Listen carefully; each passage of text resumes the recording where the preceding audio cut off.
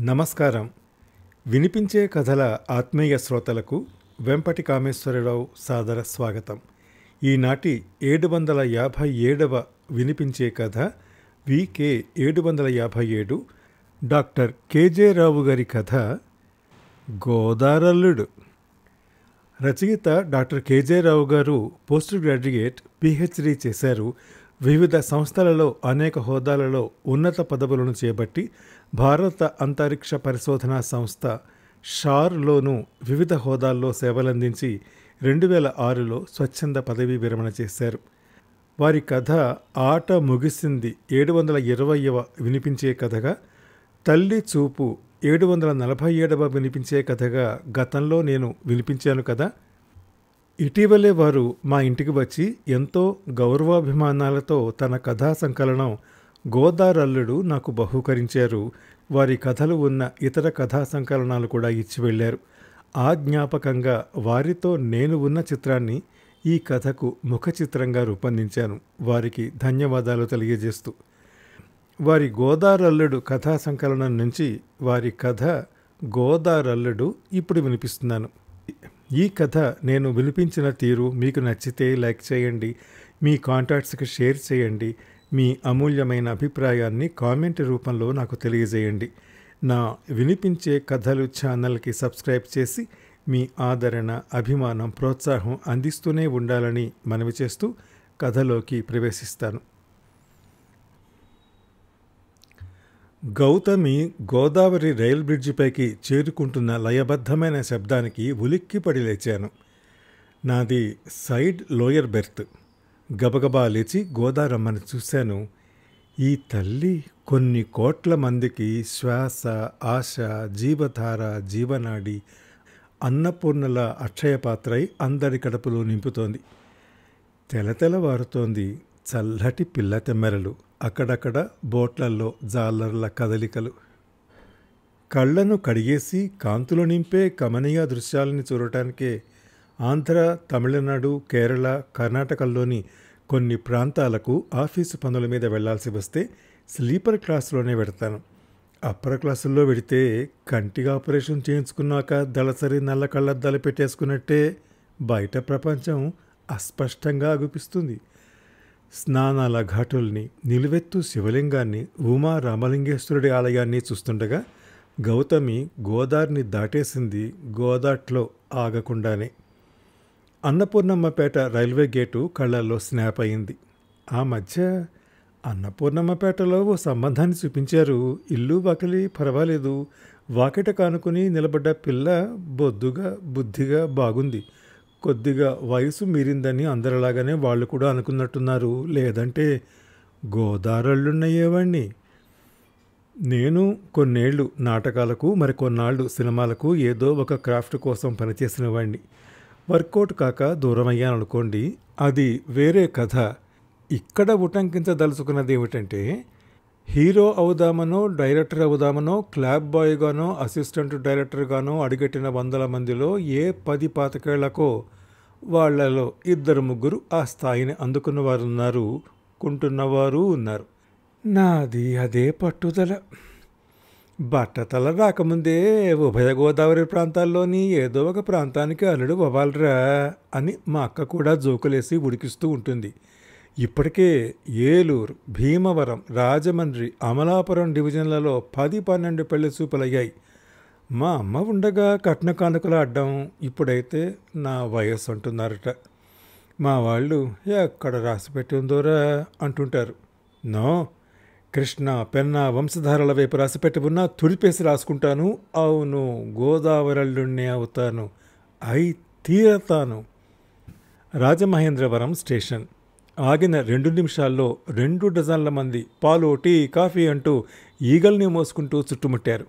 ఆస్థాన యాచకులు నిద్ర లేచినట్టు లేదింకా ఏడు గంటల పైన టిఫినీల వాళ్ళు సామర్లకోట దాటితే వీళ్ళందరి సమ్మేళనం చూడ ముచ్చటగా ఉంటుంది. మనిషి మానవత్వం బలం బలహీనతలు అంశం మీద మనుషుల్ని చదవాలనుకునే వాళ్ళకు రైలు ప్రయాణం ఉపయుక్తంగా ఉంటుంది. భోగిలోని వంద మంది లోపలనే ఎన్నెన్ని వైషమ్యాలు అసహనాలు ఆడంబరాలు అహంకారాలు అక్కడక్కడ శిబి బలిచక్రవర్తులు కర్ణాది కరుణాది కరుణామయులు ఈవ్ టీజర్సును. ఈ పెట్టెలో వెతికినంత మటుకు వయసు అయిపోయిన వాళ్ళేలేండి. ఎప్పుడో ఇరవైలలో వెళ్ళి యాభై ఏళ్ళ క్రితం హైదరాబాద్ లింగంపల్లిలో సెటిల్ అయి ఉంటారు. అది కాక అన్ని నిద్రమొహాలు. రెండు పక్కల కనువిందు చేస్తున్న పచ్చిక బయళ్ళను పంట పొలాలను పిల్లకాలవల్ని దాటి ద్వారపూడి సామల్ కోర్ట్లో ఆగి ఆగినట్టు ఆగి కాకినాడ చేరుకుంది గౌతమి. గౌతమి ఎంత చక్కటి పేరు. పేరులో ఎంతటి వైబ్రేషన్ అట్రాక్షన్ అటాచ్మెంట్. ఈ మధ్యనే ఈ కంపెనీలో చేరాను. కాకినాడ రీజనల్ ఆఫీసు చూసిరమ్మన్నాడు మా కొత్త బాసు. భోగి వద్దకు మా రీజనల్ మేనేజర్ వచ్చాడు. అంతకు ముందే ఒకటి రెండు మార్లు మాట్లాడకున్న ఇదే ముఖ పరిచయం. సార్ నేనే శశి కిరణ్. శశి అనండి ఆయ్. గోదావరి జిల్లాల మర్యాద మాటల్లోని విసురులో మిళితమై వినిపించింది. నాది తూర్పు ప్రాంతం విశాఖకు దగ్గరలోనే వేపాడ. మాటల్లో మర్యాదలకేం తీసిపోని పోటీతత్వం. నమస్తే పదండి అంటూ నా బ్యాగ్ని అతని చేతుల్లోంచి సున్నితంగా లాక్కున్నాను శశి డ్రైవింగ్ చేస్తున్నాడు. సిమెంట్ రోడ్లు తడిగా ఉన్నాయి. కారు అద్దాలని దించేస్తూ ఏసీ కన్నా తెల్లారి గాలే ప్లెజెంట్గా ఉంటుంది. వర్షం తగ్గిందా? అడిగాను. సార్ మొన్నటి నిండే తెరిపించింది. మళ్ళీ చిన్న చిన్న తుంపర్లు. మీరు వస్తున్నారని వెల్కమ్ వానా. హాయ్. నవ్వుతూ ఏసీ ఆపేశాడు. అందుకే వెటకారం కన్నా తూగోజీ వాళ్ళే ముందు పుట్టారంటారు కృష్ణ భగవాన్ స్వామి. అంతలో మొబైల్ కాల్. "ఆ, చెప్పమా ఆ, సార్ వచ్చారు. నాతోనే నాతోనే ఉన్నారు. ఇప్పుడు ఎందుకులేమ్మా ట్రావెల్ చేస్తున్నారు? ఆ ఆఫీసులో మాట్లాడుదులే ఎవరో పలకరిస్తే బాగుంటుందేమో ఎవరు శిశి? నా మాటకి చెయ్యి అడ్డంగా ఊపుతూ ఏంటమ్మా? నువ్వు అమలాపురం ఏరియా వాళ్ళందరినీ పదకొండు లోపల ఆఫీసులో ఉండాలని రిమైండ్ చేయి. నేను రాజమండ్రి ఏరియా కవర్ చేస్తాను. ఏంటమ్మా? ఎవరు మిస్ కాకూడదు. You are only responsible. Phone ఆపేసి ఎందుకులేండి సార్? ఎటు కలుస్తారు కదా. ఊరకనే విసిగిస్తారు. అంటూ విసుక్కున్నాడు. కాకినాడ వీధులు ఇళ్ళు తిరుగుతున్న జనాల్ని గమనిస్తున్నాను. వర్షంలో తడిసి స్వచ్ఛ భారత్లో భాగమవుతోంది ఈ cute city. Sasi mobile bluetooth on చేశాడు. అతన్నే గమనిస్తున్నాను. అమ్మా లేచావా? నోట్స్ ప్రిపేర్ చేసావా సార్ వచ్చేసారు రాజమండ్రి సిటీఆర్ఐ సెక్రటరీని కూడా తీసుకురా అమ్మా. మరో నెంబర్ డయల్ చేస్తున్నాడు. ఒక పక్క స్టీరింగు మరో చేత్తో మొబైలు. నాకు అసలే మొబైల్ డ్రైవింగ్ అంటే భయం. ఆ మధ్యనే మా పెదనాన్న కొడుకు కారు డ్రైవ్ చేస్తూ సెల్ ఫోన్లో మాట్లాడుతూ తనతో పాటు నలుగురిని లాక్కుపోయాడు. ఆ నలుగురు భూమి మీద కావాలి కానీ స్వర్గలోకానికి ఎందుకో అదే నా భయం. నేను హెచ్చరించే లోపల మరో కాల్. అమ్మా సారుచ్చారు. రెడీ అయ్యారా? అదేం కుదరదు. రామ్మా సార్కి ఇంట్రడ్యూస్ చేయాలి. మీటింగ్ టైంకి ముందే ఉండాలి. ఈ బ్రాంచ్లో అందరూ ఆడవాళ్ళు కామోసు. శశి గొప్ప సంస్కారవంతుడిలా ఉన్నాడు. అందరినీ ఏమ్మా అమ్మా అంటూ గౌరవంగా సంబోధిస్తున్నాడు. హెడ్ ఆఫీసులో మాట వరుసకైనా ఎవరూ అనలేదే. తెలుసుంటే తయారుగా వచ్చేవాణ్ణి. ఛ! మళ్ళీ మొబైల్ అందుకున్నాడు శశి. ఎదురుగా ఓ పెద్ద ఆయన పాల ప్యాకెట్లతో రోడ్డు దాటపోతున్నాడు శశి కారాపి కాల్స్ చేయకూడదు అన్నాను. అర్థం చేసుకున్నాడు. రోడ్డుకు పక్కగా ఆపాడు. ఏదో నంబర్ డయల్ చేశాడు. ఏమ్మా రామ్మా లేటు కాకూడదు. వారితోనే చెప్పండి. అందరికీ ఇంటిమేట్ చేయమని మీరెందుకు అలా ఫోన్లు చేయాలి? హాయ్ ఇంపార్టెంట్ మీటింగ్ కదండి.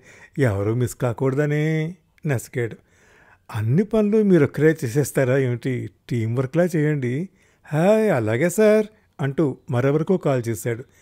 ఏమా వస్తున్నావు కదా? గోకారం సామర్లకోట తోని రంపచోడవరం వాళ్ళ మేనేజర్లకు కూడా చెప్పి వాళ్ళ వాళ్ళ వాళ్ళకి గుర్తు చేయమని చెప్పమ్మా. నే చెప్పానని చెప్పు. ఎవరైనా అబ్సెంట్ అయితే సార్ దగ్గర మనందరికీ రిమార్కు. నా వైపు చూసి లాస్ట్ కాల్ సార్ హాయ్. అమ్మా సార్ వచ్చారు. మీటింగ్ ముగిసే టైంకి వస్తే అద్దె విషయం మాట్లాడుకుందరు కానీ హాయ్. ఓకేనమ్మా ఓకేనమ్మా. మన ఆఫీస్ ఓనర్ అండి అంటూ కారు మూవ్ చేశాడు. గెస్ట్ హౌస్లోనికి అడుగు పెడుతూ చెప్పాడు. సార్ మీటింగ్ పదకొండింటికి. కాసేపు రెస్ట్ తీసుకొని తర్వాత రెడీ అవ్వండి. నేనే పికప్ చేసుకుంటాను. ఈ లోపల కాన్ఫరెన్స్ హాల్ మిగతా ఏర్పాట్లు చూసుకొస్తాను. అనేసి వెళ్ళిపోయాడు. శశి వెళ్ళిపోయాడే కానీ మనసులో చికాగ్గా ఉంది. ఈ ఆఫీసు ప్రత్యేకత తెలియదు తెలుసుకోలేదు ఎవరూ చెప్పలేదు. చచ్చ తెలుసుంటే ఎలిగెంట్గా సూటు బూటు టై కాస్త హెయిర్ ట్రిమ్ చేయించుకుని కలర్ చేసుకుని ఇంతలో కాలింగ్ బెల్లుతో పాటు సార్ అంటూ వినిపించింది. సారు కాఫీ సారు టిఫిను కొబ్బరి నీళ్ళు ఆర్డర్ ఇచ్చి వెళ్ళారు. ఆయ్ ఎన్ని గంటలకు తెమ్మంటారండి? ఎందుకు బాబు అంత స్పీడు? పదింటికి తీసుకురారాదు. హర్ట్ చేయకుండా పంపించేశాను. కాఫీ తాగుతున్నానే కానీ మనసు మనసులో లేదు ఆలోచనలు. బెల్లు కొట్టాను ఆ బాయ్ వచ్చాడు. హెయిర్ డ్రెస్సర్ని ఏర్పాటు చేయమని చెప్పాను. గంట తర్వాత అద్దంలో చూసుకున్నాక వచ్చినవాడు పనమంతుడే అనిపించింది. బాగానే చేశాడు. తెచ్చుకున్న రెండు డ్రెస్సుల్లో బ్రైట్గా నా కలర్కి మ్యాచ్ అయ్యేదిగా చూసుకుని వేసుకున్నాను. పర్వాలేదనిపించింది. వచ్చే వాళ్ళలో అందరూ మ్యారీడ్ ఉండరుగా. మరీ అంత పర్సనాలిటీ అక్కర్లేదు. మోస్తరి ఛాయ్తో చూడముచ్చటగా నవ్వుముఖం ఉంటే చాలు. కులగోత్రాలతో పని లేదు. అమ్మ ఉండి ఉంటే కులవని కట్న కానుకల విషయమై ఇబ్బంది పెట్టేదేమో కానీ ఇద్దరూ లేరు. అన్నయ్య అక్కకి అలాంటి పట్టింపులు లేవు. నాకు పెళ్ళైతే చాలు అన్నట్టు మాట్లాడతారు. నాకేదో తక్కువైనట్టు. మా అక్కయ్య అయితే మరీను. వేపాడలో మాకు కూరగాయల వ్యవసాయం ఉంది. ఊళ్ళో ఉంటే ఒరే తోటకెళ్ళి బెండకాయలకు వసుకురా చూసితే ముదిరితే పనికిరావు అంటూ వీధికంతా వినిపించేటట్టు కేకపడుతుంది అప్పుడు మాత్రం ఏమూలో కలుక్కుమంటుంది. నాకేమంత వయసైపోలేదు. ముప్పైకి ఇటు ఇటు కాదు కానీ అటే. అయినా సాఫ్ట్వేర్ కంపెనీలో చాలామంది ముదురు బెండపాదులే అయితేనే ఐదంకల రాబడి కారు గీరు పబ్బు క్లబ్బు. ఏదేమైనా గోదారమ్మకు అల్లుని కావాలనే కోరిక మాత్రం తీర్చుకోవాల్సిందే. టిఫిన్ కానిచ్చి కూర్చున్నాను. శశి ఏర్పాట్లు బాగానే చేశాడు. పెళ్ళయిందో లేదో ఇంతమంది ఆడాళ్ళ మధ్య తిరుగుతూ పెళ్ళి కాకుండా ఉంటాడా? ఎవరైనా నచ్చితే ఆయనే నాకు మధ్యస్థం చేయాలి. చూడాలి మరి. నాలో నాకు ఒకటే ఇదిగా ఉంది. ఏదోగా ఉంది ముసి ముసిగా ఉంది హుషారుగా ఉంది. ఆకాశందించాలా నెలవంక తుంచాలా పాటకి ప్యారడీగా.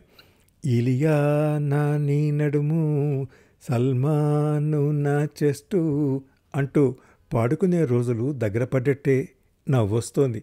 ఆఫీసు పని మీద వచ్చానా పెళ్ళి చూపులకనా అద్దంలోకి మళ్ళీ మళ్ళీ మళ్ళీ చూసుకున్నాను. పాజిటివ్గా థింకింగ్ చేస్తే ఇలా బ్రైట్గా చలాకీగా ఉంటామన్నమాట బెల్లు మోగింది ఎదురుగా శశి.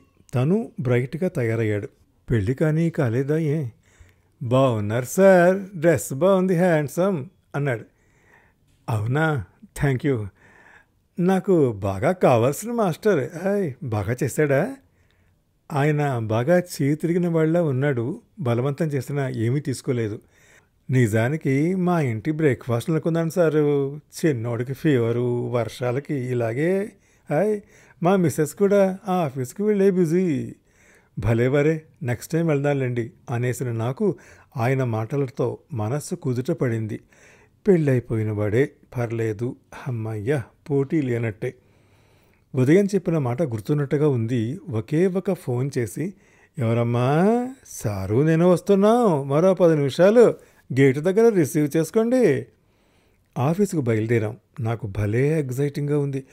యాంగ్జైటీ అన్నీ కుదిరితే అన్నీ కుదిరితే అంతర్వేది నరసింహస్వామికి దండం పెట్టుకు రావాలి వర్షం తగ్గింది. కాకినాడ రోడ్లు నీరెండలో మెరుస్తున్నాయి. శశి మీటింగు మిగతా పనులు చూసుకుని రేపు అంతర్వేది వెళదామా? ఎప్పటి నుంచో వెళ్ళాలనుకుంటున్నాను. అదెంత సార్? వెళ్దాం హాయ్ ఆఫీసు గేటు దగ్గర కారు డోర్ తీశాడో కుర్రాడు. నమస్కారం చెప్పి తన పేరు చెప్పుకున్నాడు. మరో కుర్రాడు నా చేతికి బొకే ఇచ్చి పరిచయం చేసుకున్నాడు. ఏమా ఏర్పాట్లన్నీ ఓకేనా? ఆ మాట నా చెవుల పడగానే ఒక రకమైన జర్కు. హాల్ లోపలికి మర్యాదగా సువినయ విధేయతలతో తోడుకుని వెళ్ళారు. వెళ్తూనే వాళ్ళు చూడకుండా వాళ్ళను చూసుకుంటూ డయాస్ మీదున్న రోస్ట్రం వద్దకు వెళ్ళిపోయాను వాళ్ళు పిలవకుండానే. అక్కడి నుండి హాల్ అంతా కలగ చూశాను. వంద మంది పైచిలకు మర్యాదపూర్వకంగా అందరూ నిలుస్తున్నారు. ఇంతలో శశి వేదిక మీదకి వచ్చి మైక్ తీసుకున్నాడు. సార్కు ఫార్మాలిటీస్ నచ్చవన్నమాట. అంతా ఇన్ఫార్మల్గా ఉండాలన్నమాట. Hi thank you sir. నేనే అన్నాను ఆశ చావక. రావాల్సిన వాళ్ళు ఎవరైనా ఉన్నారా? ఆగుదాం తొందరేం లేదు. చేత్తో అందరినీ కూర్చోమని సైగ చేస్తూ. ఏమా అందరూ వచ్చినట్టేనా? ఎవరైనా రావాలా? అందరూ ప్రజెంట్ సార్. బొకే అబ్బాయి బదులిచ్చాడు. అవునా అంటుంటే నా గొంతు నాకే పేలవంగా వినిపించింది. అమ్మా ఒక్కొక్కరు పరిచయం చేసుకోండి. ఏమ్మా గంగాధర్ చివరికి వెళ్ళావేం పరిచయం చేసుకో. శశి మైక్లో చెప్తున్నాడు క్రింద నుంచి పరిచయాలు వినిపిస్తున్నాయి వాళ్ళల్లో వాళ్ళకు నాకు కాదు. రోస్ట్రం వదిలిపెట్టి కుర్చీలో కూలబడ్డాను. శశిని పక్కన కూర్చోమని గుసగుసగా అడిగాను ఇక్కడ లేడీస్ని తీసుకోరా? లేదు సార్ ఏం సార్ మన వాళ్ళు ఎవరైనా ఉన్నారా? అబ్బే తెలుసుకుందామని. ఇక్కడే కాదు హెడ్ ఆఫీస్లో కూడా. మీరు ఎవరినైనా ఫీమేల్ ఎంప్లాయీని చూసారా? కరెక్టే ఎవరిని చూడలేదే గుర్తు చేసుకుంటూ బదిలిచ్చాను. మన కంపెనీ పాలసీ అండి మన ఎండి గారు ఇష్టపడరట హాయ్. ఒరే బెండకాయలు చూసి తేరా ముదిరితే పనికిరావు. ఏదో ఎంజీఆర్ సినిమాలో గుహల్లోలా ఎకోలో మా అక్కయ్య మాటలు హెచ్చరించేవిగా వినిపిస్తూనే ఉన్నాయి. మీటింగ్ పూర్తయ్యే వరకు. ఆ తర్వాత నేను ఏం మాట్లాడానో మాట్లాడలేదో ఏమైందో ఏం అవలేదో వైరాగ్యం అంతా శూన్యం. అమ్మా రండి. మా వైస్ ప్రెసిడెంట్ గారు సార్ మేడం గారు వచ్చారు. మన ఆఫీసు వీరిదే. తల పైకెత్తాను. హాల్ అంతా ఖాళీ. ఎదురుగా అందాల భరిణే. తప్పు తప్పు. నమస్తే. కూర్చోండి మేడం. తప్పు తప్పు అనుకుంటూనే మరోమారు చూశాను.